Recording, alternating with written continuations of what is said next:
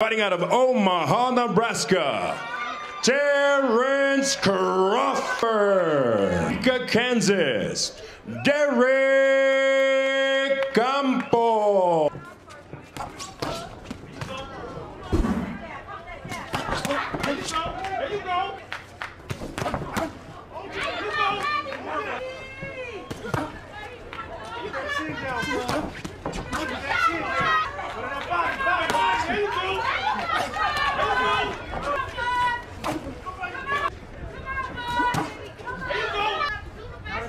Yeah.